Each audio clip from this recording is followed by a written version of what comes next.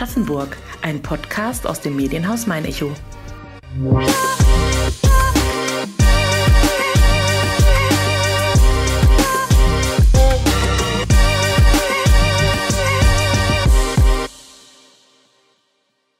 Dornröschen, Dr. Faust oder die Schneekönigin. Bei der Aufnahme dieser 81. Folge von Mein Aschaffenburg gab es nicht nur einen Gesprächspartner, sondern auch viele kleine Zaungäste. Kein Wunder, war ich doch im Meinerschaffer Marionettentheater Puppenschiff mit Vorstandsmitglied Christoph Hühnlein verabredet mit dem ich plaudern wollte über eine außergewöhnliche Bühne in der Meinerschaffer Schulstraße, das große Repertoire des Marionettentheaters sowie über die vielfältigen Einsatzgebiete der ehrenamtlich Beteiligten. Zudem verrät mir der 40-jährige Mechatronikingenieur, wie es um den Nachwuchs an Puppenspielern bestellt ist, welches Stück als nächstes aufgeführt werden soll und worin für ihn selbst der Reiz des Puppenspiels liegt. Mein Name ist Nina Mählis und wer Personen kennt, die Aschaffenburg und Umgebung lebenswert, bunt und besonders machen und die in diesem Podcast unbedingt einmal zu Wort kommen sollten, schreibt gerne eine Mail an podcast.mein-echo.de zu einer ungewöhnlichen Uhrzeit an einem ungewöhnlichen Ort. Da sich aber heute ja hier eh kein Vorhang mehr hebt, es ist ein Dienstagabend, freue ich mich sehr darauf, dass wir uns jetzt einfach unterhalten können über das Puppenschiff. Hallo Christoph. Hallo Nina, schön, dass du da bist und mich hier im Theater besuchst. Ja, es, es hat lange gedauert. Ich war hier mal als Kind, also nicht nur einmal schon, sondern wirklich mehrfach, aber die letzten Jahre oder wahrscheinlich ja auch wirklich ein Jahrzehnt schon nicht mehr. Das Wie schön, muss sich ändern. Wie schön, dass du den Weg wieder hierher gefunden hast. Ja, der war mir tatsächlich noch bekannt, auch wenn ich damals mit Sicherheit nicht selbst gefahren bin, sondern gefahren wurde. Aber tatsächlich das Glitzern eurer Kugel und auch der große Leuchter und der Eingangsbereich. Das habe ich nicht vergessen. Ganz vertraut. Ja, es gab aber damals noch MCs. Genau. Ja, die gibt's heute nicht mehr, aber es gibt CDs von unseren Stücken. Ja. Ist jetzt auch nicht mehr ganz neu, aber Ja, vielleicht werdet ihr auch irgendwann auf was den streamen. MCs waren früher immer nur die Lieder drauf und heute ist das ganze Stück vertreten. Kannst du dich noch an ein Stück erinnern, das du hier gesehen hast? Ich muss tatsächlich nachschauen. Ich erinnere mich an eine quietschgelbe und eine tiefrote MC. uns gibt's ja schon sehr lange und auch unsere Stücke sind schon äh, lange existent. Ähm, Stücke wie Das bunte Kind vom grauen Stern waren selbstgeschrieben oder ist ein selbstgeschriebenes Märchen noch von Bernd Weber oder ähm, Der Zauberer Bebra Kadebra und sein singendes Zebra. Das hat, glaube ich, auch schon viele verzaubert bisher. Ich werde tatsächlich das nächste Mal zu Hause bei meinen Eltern in meinem Kinderzimmer sofort stöbern. Ich werde es nachreichen. Bitte, bitte.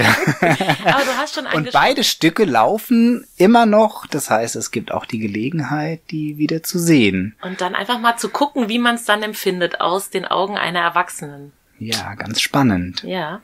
Aber du hast schon das Stichwort geliefert. Lange, ihr seid schon lange hier in meiner Schaff. Sehr, sehr lange. Ich würde einfach sagen, das Puppenschiff ist eine Institution. Du hast auch schon einen Namen genannt. Ohne den würde es das Puppenschiff so nicht geben. Ihr habt 2020 sogar das 30. Jubiläum feiern können. Euch gab es jetzt eben vor drei Jahren, schon seit 30 Jahren. Das ist eine unheimlich lange Zeit im kulturellen Betrieb, so lange vor allem an einer Stelle. Wobei es gibt euch ja viel länger. Das Puppenschiff ist eben hier in Männerschaft seit 30, gut 30 Jahren beheimatet, aber das ist gar nicht das Gründungsjahr. Richtig, genau. Du hast gerade schon, ich wollte gerade einhaken oder sagen, ja, genau, seit, seit über 30 Jahren, seit 1990 hier im Haus, in Meinerschaft, im Theater in der Krone ansässig.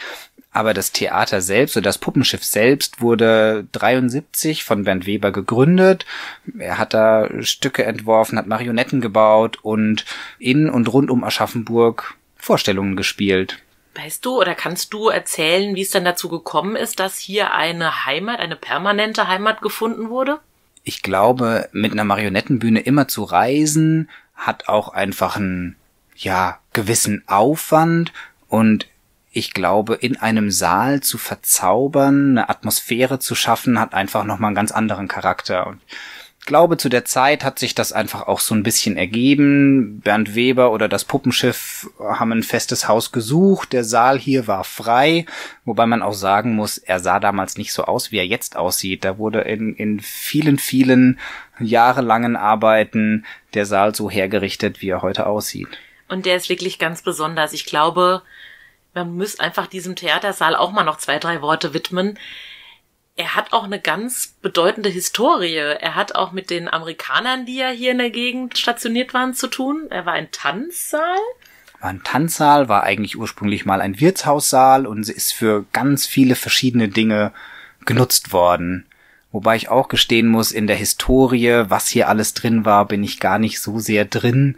Ich bin zwar auch schon lange aktiv im Puppenschiff, aber ja in den 90ern mit dazugekommen und seitdem begeisterter Marionettenspieler und auch für alle anderen Tätigkeiten im Theater zu haben. Ja, aber wie ist es denn überhaupt dazu gekommen, dass du damals gesagt hast, ja, da will ich mich einbringen?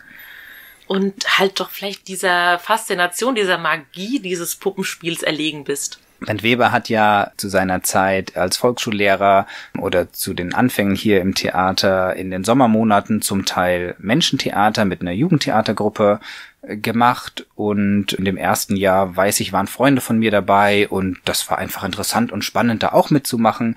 In einem nächsten Jahr durfte ich auch mitspielen und am Ende dieser äh, Saison hat das Team vom Puppenschiff gefragt, ob wir nicht Lust haben, Marionetten spielen zu lernen. Und das waren einige Freunde von mir, die dann gesagt haben, ja, wir probieren das einfach aus. Und das war eine ganz tolle Truppe, mit der wir zusammen hier das Marionettenspielen gelernt haben, das Theater lieben gelernt und ja, so viele Jahre lang bis heute immer noch dabei. Ja, es ist ein Haus, in dem eben nicht Schauspieler, sondern Marionetten, Puppen die Hauptrolle spielen. Trotzdem ohne Menschen würde es natürlich nicht funktionieren. Du hast ja schon gesagt, es mit Musik eingespielt. Erzähl uns mal so ein bisschen aus deinem Alltag. Du bist eben hinter der Bühne, du bist zwar auf der Bühne, aber du bist ja nicht zu sehen. Genau, an sich als Marionettenspieler gibt's ein, eine Marionette ist ja an sich eine, eine Puppe an Fäden. Man hat, sage ich mal, oberhalb von der Bühne ein Spielkreuz in der Hand, mit dem man die Marionette führen kann.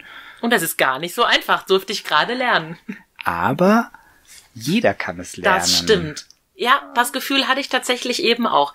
Wenn man einfach ein bisschen Übung hat, du hast auch das schöne Beispiel Autofahren gebracht.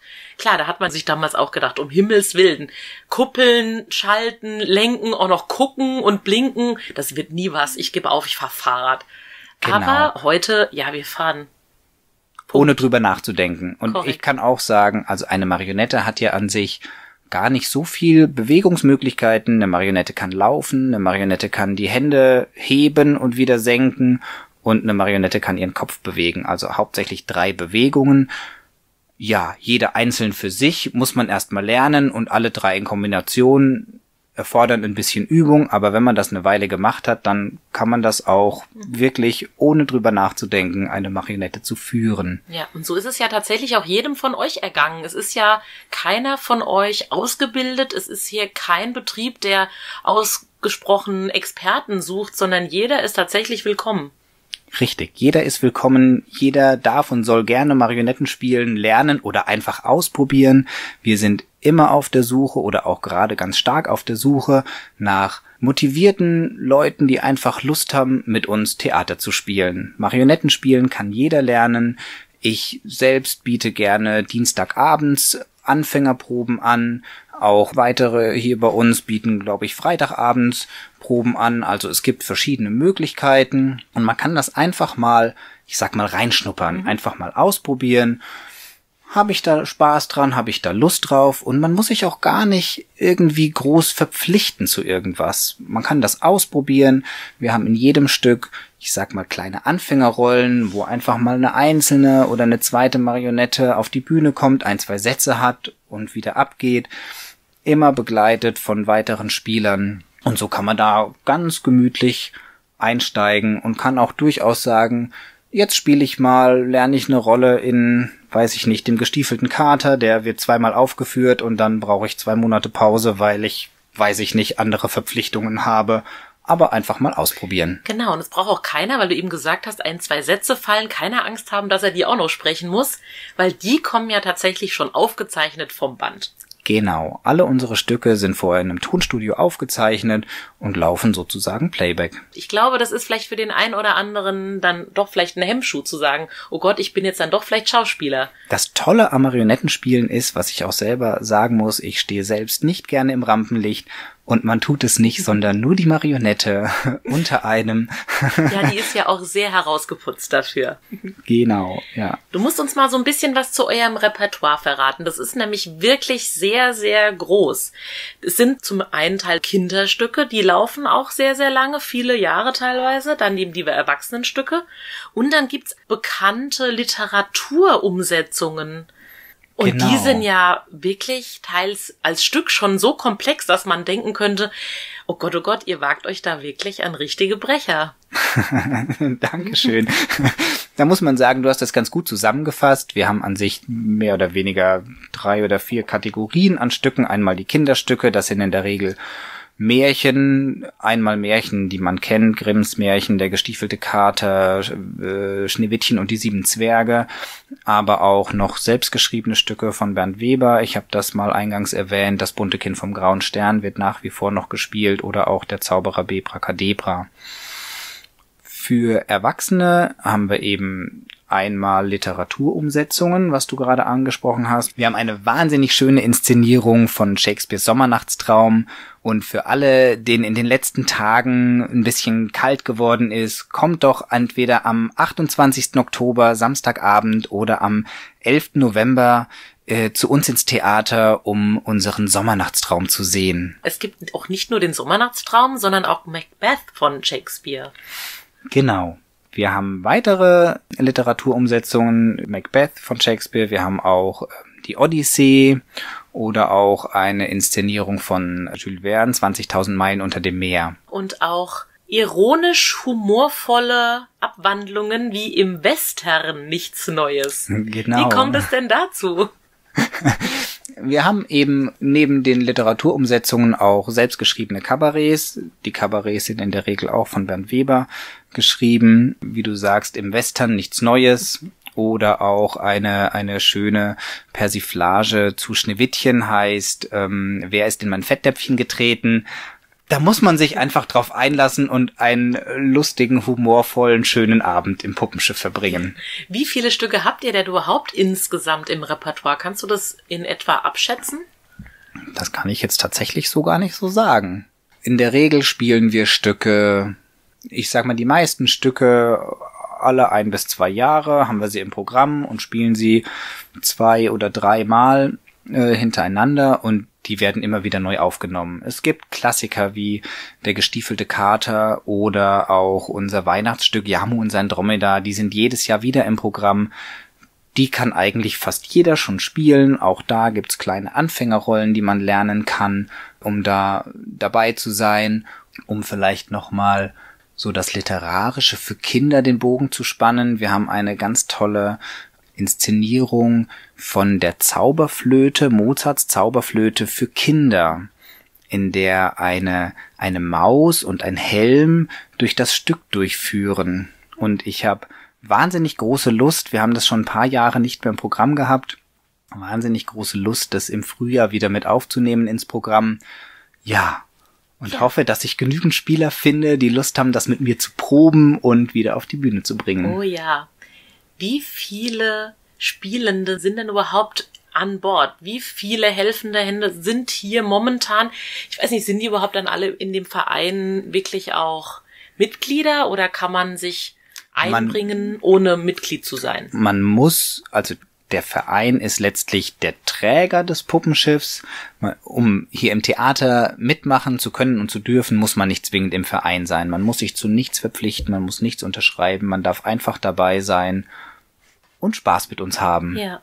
Wer entscheidet denn mittlerweile, nachdem es Bernd Weber ja nun mal nicht mehr kann, welche Stücke vielleicht gehen müssen, welche neu hinzukommen? Ist es eine demokratische Entscheidung? Mm, kann man auch ein bisschen so sagen, ja. Bernd Weber war ja ein Multitalent, der einfach wirklich, ich sag mal, alles konnte. nachdem er gestorben war, haben wir uns so ein bisschen orientiert, in wer hat so seine Stärken und das ist einfach ein Team geworden, die solche Dinge entscheiden. Ich sag mal, ganz einfach ist es eigentlich bei neuen Stücken, weil es ist ja nicht so, dass es unendlich viele Stücke und Textschreiber gibt, sondern jeder, der die Idee hat, ein, ein, Stück zu schreiben, darf natürlich gerne seine Ideen mit einbringen. Und meistens passiert es dann in einer Kooperation von verschiedenen, vielen Leuten, die zusammen dann ein Text für ein neues Stück schreiben. Wir unterbrechen für einen kleinen Werbeblock. Ihr möchtet täglich alle aktuellen News, Videos, Podcasts und Themenblogs aus eurer Region?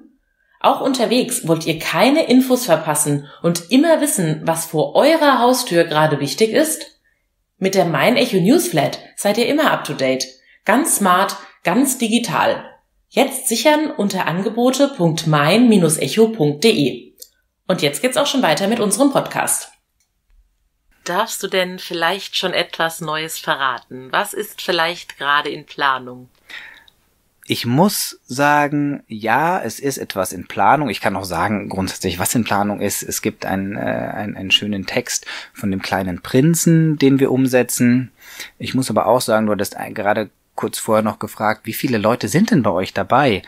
Ich sag mal, es sind so zwischen 10 und 15, vielleicht auch 20 Leute, aber das ist nicht so, dass die jeder jede Woche andauernd da und dabei ist.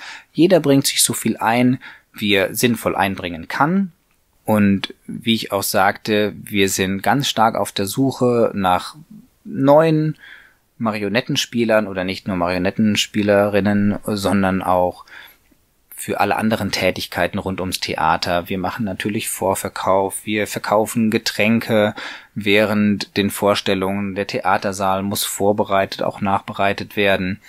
Und wenn es jetzt eben zu einem neuen Stück kommt, dann müssten wir eigentlich in die Werkstatt gehen, um dieses Stück eben neu zu produzieren. Und da kann ich ehrlich sagen, da fehlt uns ganz akut die Zeit und die Manpower. Aber ihr hättet zumindest ein Ziel, der kleine Prinz auf der Bühne des Puppenschiffs hier in meiner Schaff. Nur die Zeit ist momentan der Faktor, der wahrscheinlich bestimmen wird, wann er zu sehen sein wird. Genau. Ich mache aktuell keine Prognose, aber ich kann versichern, als nächstes wird der kleine Prinz auf die Bühne kommen. Und dann wird es auch wahrscheinlich neue Puppen geben. Könnt ihr denn bei dem einen oder anderen Stück vielleicht auf Puppen zurückgreifen oder jetzt im Hinblick auf der kleine Prinz, die vielleicht schon existent sind oder muss für jedes neue Stück auch ein kompletter Satz neue Puppen her. Das funktioniert tatsächlich gar nicht besonders gut, Puppen wiederzuverwerten, weil also es müsste schon die Größe, der Ausdruck und das Kostüm passen, weil Marionetten umziehen geht einfach nicht, weil die aufgehängt sind und auch Kostüme sind nicht dafür gemacht, die äh, zu wechseln, sondern die sind mehr oder weniger fest, zum Teil auch verklebt äh, an der Puppe dran. Und auch jedes Stück hat so ein bisschen seinen eigenen Stil, weil es ja zu einer bestimmten Zeit mit bestimmten Leuten entstanden ist. Daher gibt's in der Regel für jedes Stück einen komplett neuen Satz an Marionetten.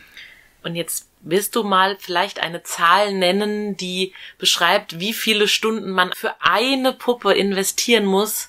Und dann wird's einem, also ich glaube, ich weiß, was du jetzt sagen wirst. Und da wurde es mir schier blümerant, weil wenn du schon sagst, euch fehlt die Zeit, ist es schon Wahnsinn, was eine Puppe an Arbeitsaufwand bedarf. Ich finde das auch wieder ganz schwierig zu beantworten, weil das ist ja auch wieder ganz individuell. Bei uns im Theater kann jeder alles lernen. Ich selbst habe das Marionettenspielen gelernt, ohne irgendwas vorher zu können. Ich habe in der Werkstatt gelernt, Marionetten zu bauen, ohne vorher irgendwelche Ausbildungen oder sonst was zu haben. Und eben, ich sag mal, wenn jemand das schon oft und viel und lange gemacht hat, Bernd hat immer gesagt, ja, eine Marionette 40 Stunden. Ich find's maßlos untertrieben, also ich glaube, man braucht viel länger für eine Marionette. Aber 40 Stunden sind nun mal einfach schon eine ganz schöne Hausnummer. Ja. ja. Auch ja. das. Zumal man ja sagen muss, wir sind ein vollständig ehrenamtlich betriebenes Theater. Wir alle machen das in unserer Freizeit mit viel Spaß und Begeisterung. Naja, und jeder weiß eben auch, wie viel Zeit kann man denn äh, neben allem anderen ja. äh, was man zu tun hat, aufbringen. Ja, aber auch da hast du vorhin mir schon verraten, selbst die Herstellung der Puppen kann man lernen. Man meint ja, dass das wirklich eines Profis bedarf, aber so ist es gar nicht. Auch da darf man sich einbringen. Der eine kann es vielleicht nachher besser als der andere, aber auch da seid ihr wirklich froh, wenn sich da einer berufen fühlt, eben Puppen herzustellen. Sehr, sehr gerne. Man glaubt immer, eine Marionette zu bauen ist ein Kunstwerk und man muss Künstler sein, um das tun zu können. Und ich sag mal, zu mindestens 80 Prozent ist es Handwerk. Ja, natürlich, einen Kopf zu modellieren, einen Ausdruck in ein Gesicht reinzubringen, dafür muss man ein gewisser Künstler sein und ich kann es auch ehrlich sagen, ich kann es nicht. Mhm. Ich kann keine Köpfe modellieren, aber ich muss es auch nicht. ich kann Marionettenkörper bauen, ich kann äh, Hände in Form schleifen, ich kann auch Puppenköpfe vielleicht anmalen, aber einen Ausdruck reinzubringen, das kann ich tatsächlich nicht. Jetzt verrate uns doch mal, Hände und Füße bestehen aus Holz. Unsere Marionetten bestehen der Körper an sich aus Holz, zum Teil mit ein bisschen Styropor aufgepolstert, dass eben das Gewicht möglichst klein bleibt. Unsere Hände und Füße oder Schuhe sind in der Regel mal eine Form entstanden und werden aus einem Gießharz abgegossen. Aber auch ein abgegossener äh, Fuß, der kommt nicht schon wirklich formschön aus dieser Form raus, sondern die Grundform ist erhalten und da gibt's immer noch Nacharbeiten zu tun. Mhm. Und der Kopf an sich? An sich werden unsere Köpfe modelliert, das heißt, man hat einen Kern. Wir benutzen tatsächlich häufig irgendwie zum Beispiel Alufolie, dass es innen möglichst hohl und auch. leicht bleibt und außenrum wird eine Modelliermasse Mhm. aufgebracht. Ja, und das entsteht tatsächlich, hast du mir vorhin auch verraten, gar nicht hier in meiner Schaft, sondern ihr habt auch in der Stadt noch einen Raum, in dem ihr wirklich werkeln könnt und dürft. Wir haben eine vollständige Werkstatt in der Innenstadt in Aschaffenburg, an sich in der Riesengasse unterm Gully angesiedelt.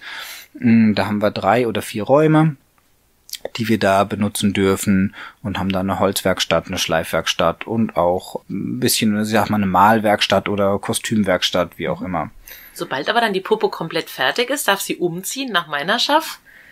Genau. Während der Produktion machen wir ganz viel eben in der Werkstatt selbst, weil wir hier in meiner Schaft gar nicht so viele Räumlichkeiten haben, hauptsächlich den großen Theatersaal.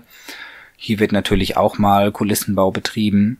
Und wenn die Marionetten fertig sind, dann müssen sie aufgehängt werden und mit ihnen geprobt werden, vielleicht modifiziert werden im, im Rahmen von einer Neuinszenierung, von einer Neugestaltung, von einem neuen Stück. Kannst du in etwa abschätzen, wie viele Marionetten mittlerweile hier Bewohner des Hauses sind?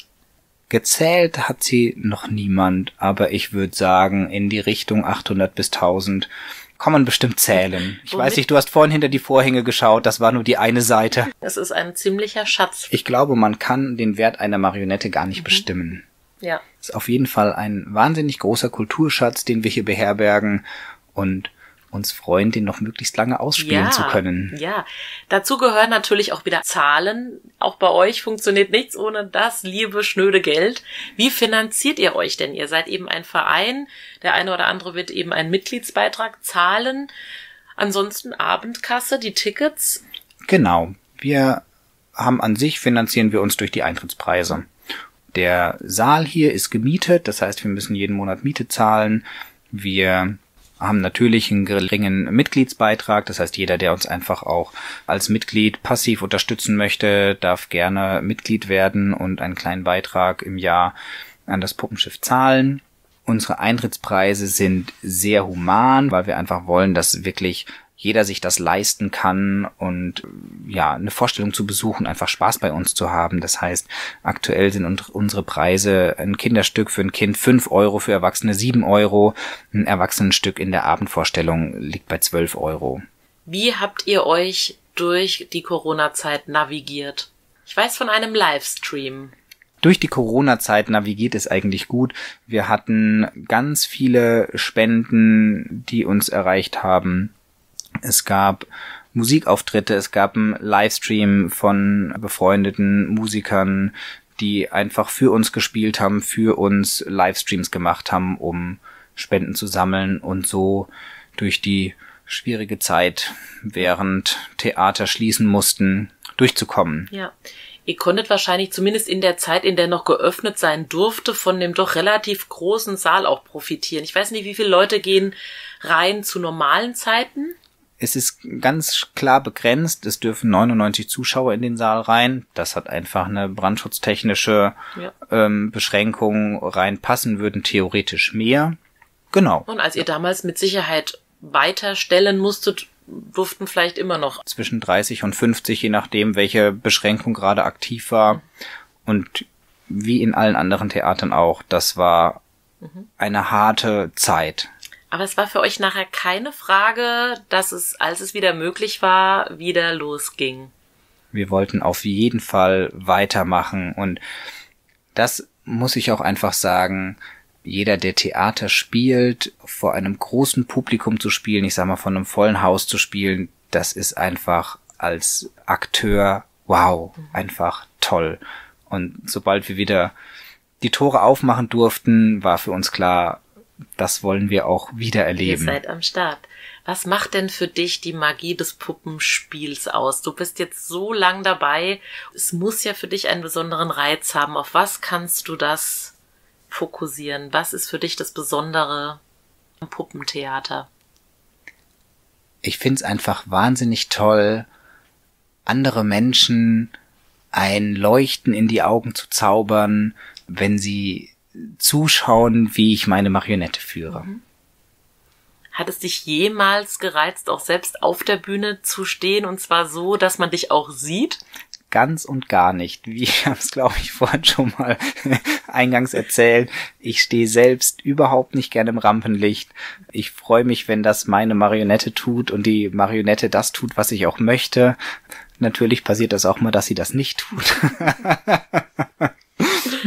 ja. Was ist genau. denn das Schlimmste, was dir überhaupt als Puppenspieler passieren kann? Ist es das Verheddern der Fäden oder vielleicht etwas ganz anderes? Ich finde, ja, nein, es kann, Fäden können reißen. Mir ist es einmal passiert, wir haben eine Inszenierung vom äh, Dr. Faust. Der Faust wird bei uns nur mit zwei Spielern gespielt und es gab eine Szene, da standen acht Teufel und ein Faust auf der Bühne und mir ist eine Kordel von äh, vier Teufeln gerissen und ähm, ja, ja. die Teufel segelten Richtung Boden, ich konnte sie noch auffangen und auch das war aber wahnsinnig toll, weil es war klar, mein Spielpartner, ihm war klar, ich kann jetzt gerade nichts anderes machen, weil ich muss die Teufel festhalten und ja, das war ein Stück, spannender Augenblick. Ja, und hat das Stück ja, eine ganz andere Wendung genommen. Gefallen das Teufel. nicht, äh, ja. ja, der, wir haben es dann noch gekriegt, der Teufel hat den Faust dann doch noch eingeholt, ja. Und da muss man einfach sagen, ja, das passiert, eine Marionette verheddert sich, ein Faden reißt, gehört dazu. Es passiert einfach und das gehört dazu und das macht auch bisschen den Reiz aus, ja. das dann trotzdem hinzukriegen. Ist es für dich vielleicht auch ein Kontrast zu deinem beruflichen Alltag? Ein Ausgleich?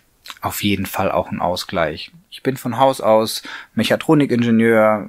Ich hm, bin in einem Büro tätig hauptsächlich und natürlich ist es einfach eine, wie soll ich sagen, ganz andere mhm. Welt, in die man auch ein bisschen entflüchten kann. Ja, andere Welt im positivsten Sinne.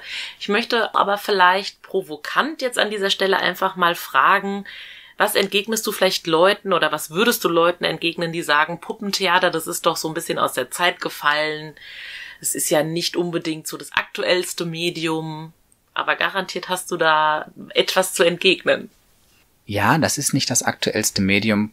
Puppenspiel hat einfach eine ganz eigene Faszination wenn man die Marionette auf der Bühne sieht und die Atmosphäre im Theatersaal wahrnimmt, hat das einen ganz anderen Zauber. Ja, Marionettenspielen ist langsamer, viel langsamer als andere Medien, aber es hat eine eigene Faszination, einen eigenen Zauber. So eine Marionette besteht aus Holz und Stoff und Schrauben und kann wirklich Menschen, die an Träume glauben, verzaubern. Jetzt wäre das schon das perfekte Schlusswort, aber ich habe ja A noch die kleine grüne Fragenbox für dich und zum Zweiten würde ich wirklich gerne wissen, gibt es Personen, die dem Zauber schon ähnlich lange wie du erliegen und regelmäßig kommen, die vielleicht schon so lange kommen, dass jetzt die nächste Generation schon bei den Besuchern dabei ist? Definitiv. Also ganz, ganz häufig hören wir auch, ich war hier schon selbst als Kind und meine Kinder oder ich war mit meinen Kindern hier und bin jetzt mit meinen Enkeln hier, hatte letztens tatsächlich äh, mit unseren Nachbarn ein, ich sag mal, Zaungespräch, die auch sagten, ja, wir waren mit unseren Kindern da und jetzt, ach ja, toll, äh, wir kommen mit unseren Enkeln wieder vorbei. Und natürlich auch gerade unser Weihnachtsstück. Wir haben ganz viele Familien. Für die ist es auch ein bisschen ein Ritual geworden, im, im Dezember, in der Adventszeit, in äh, unsere Weihnachtsinszenierung von Yamu und seinem Dromedar zu mhm. gehen. Ihr seid auch in der Region hier ziemlich einzigartig. Weißt du von ähnlich aufgestellten Bühnen hier in der Region, die eben sich auch dem ausschließlich Puppenspiel widmen? Ich würde sagen, in der Region kein weiteres wirklich Marionettentheater so. Wobei ich auch gestehen muss, da kenne ich mich gar nicht so gut aus. Wir lassen es einfach mal dahingestellt. Jeder, der sich da vielleicht bemüßigt fühlt zu googeln, bitte sehr. Wir freuen uns über Updates. Auf jeden Fall. Gerne uns beide bekehren oder belehren. Wir gehen einfach mal davon aus, dass es hier so auf weiter Flur nichts weiteres gibt. Du bist dran. Drei Fragen aus der kleinen grünen Fragenbox. Ich habe die Karte gezogen, mein Vorbild ist. Ich kann gar nicht sagen, dass ich so ein richtiges Vorbild habe.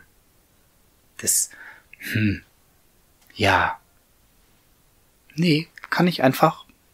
Was das Puppenschiff anbelangt, ist vielleicht so euer aller Mentor nach wie vor Bernd Weber, auch wenn er nicht mehr da ist definitiv. Von Bernd habe ich auch ganz, ganz viel gelernt. Ich habe ganz viele Auftritte mit Bernd zusammengespielt, nicht nur hier im Theater, sondern auch Sondervorstellungen. Bernd hat ja auch gerne mal für Geburtstage oder Feiern eigene Kreationen geschrieben und da war ich ganz, ganz viel mit ihm zusammen unterwegs und das hat immer, würde ich sagen, hat mich auch stark geprägt, mit ihm zusammen, ja, Theater zu machen. Genau, mittlerweile ist auch in Stockstadt ein Platz nach ihm benannt. Genau, der Platz, der Bernd Weber Platz in Stockstadt, das ist tatsächlich da, wo, wo das Wohnhaus stand, in dem er zuletzt gelebt hat. Und ich finde es wahnsinnig toll, dass es diesen Platz gibt und dass der auch immer noch angenommen wird. Ein kleiner Teil dafür, dass er nicht vergessen wird. Bernd ist immer und auch bei jeder Vorstellung irgendwie dabei. Mit dieser Person würde ich gerne für einen Tag tauschen ich möchte überhaupt mit niemandem einen Tag tauschen. Was auch ein Statement ist. Ich mache genau das, was ich gerne möchte und was mir Spaß macht und genauso, wie ich das für richtig halte und sehr gut. Eine dritte und letzte Karte darf ich noch ziehen. Unverzichtbar in Aschaffenburg ist für mich es gibt so viele Dinge, die für mich unverzichtbar sind. Einmal das Stadtbild mit dem Schloss und dem Fluss, mit dem Main. Ich muss sagen, jedes, jeden Tag, wenn ich abends von der Arbeit nach Aschaffenburg wieder reinfahre und über die ähm, Ebertbrücke fahre, sehe ich das Schloss und freue mich sehr, wieder in Aschaffenburg zu sein, weil ich mich hier total wohlfühle. Bist auch gebürtiger Aschaffenburger. Genau, ja. Und jetzt ich komme wieder... komm aus Stockstadt, mhm. genau, bin hier aufgewachsen, war zwischendrin zehn Jahre in Aachen gewesen und wir sind vor drei Jahren wieder nach Aschaffenburg gezogen. Und ja, wie ich gerade gesagt habe, ich freue mich jeden Tag wieder, wenn ich das Schloss sehe und hier sein zu können. Christoph, ich danke dir sehr, dass wir heute Abend gemeinsam in See gestochen sind im Hinblick auf das Puppenschiff. Jetzt so zum Saisonstart, zur Spielzeiteröffnung, die ja bei euch wahrscheinlich jetzt auch so Ende September, Anfang Oktober war. Genau. Denke ich, war es ein ganz sinnvoller Zeitpunkt. Zum Ende der bayerischen Sommerferien geben wir noch ein paar, paar ein, zwei, drei Wochen dazu und dann starten wir wieder, stechen wieder in See. Ja. Danke dir, dass du hier warst Sehr und gerne. ja, ich habe mich bei dir wohlgefühlt. Tito. Äh, ich durfte Dankeschön. mich ja wirklich vorher auch mal auf der Bühne umschauen. Es ist wirklich zum Wohlfühlen, wer sich einbringen möchte, darf sich gerne, glaube ich, bei dir auf Oder jeden Fall. Ihr könnt euch melden. gerne bei mir natürlich melden. Ihr könnt eine E-Mail schreiben an mitarbeit.puppenschiff.de. Die kommt dann auch bei mir raus. Wir können gerne eine Schnupperprobe vereinbaren. Wie gesagt, ich kann Dienstagabends euch gerne mal in das Marionettenspielen zeigen, mal ein bisschen einführen. Nina hat das vorhin erlebt und bin nicht verzweifelt. Kann vielleicht sagen, Ja, macht das auf jeden Fall mal. Und ansonsten freue ich mich, wenn ihr eine unserer nächsten Vorstellungen besucht. Das geht jetzt bis Ende Dezember. Und aber schon ganz bald kommt das neue Programm für ab Januar. Genau. Und dann wahrscheinlich auch so bis Juni, Juli? In der Regel spielen wir eben genau mehr so Mai, so wenn es dann wieder warm wird, dann muss man einfach sagen, ist die Theatersaison langsam zu Ende, die Freiluftsaison beginnt und ja, die Zuschauerzahlen nehmen einfach ab bei schönem Wetter. So ist es. Da bleibt nichts hinzuzufügen. Ich danke dir. Vielen Dank. Wenn euch meiner Schaffenburg gefällt und ihr keine Folge mehr verpassen wollt, freue ich mich, wenn ihr den Podcast abonniert, bewertet und weiterempfehlt. Neue Folgen gibt es jeden zweiten Donnerstag auf der Homepage des Medienhauses Mein Echo sowie überall, wo es Podcasts gibt. Vielen Dank fürs Zuhören und bis zum nächsten Mal.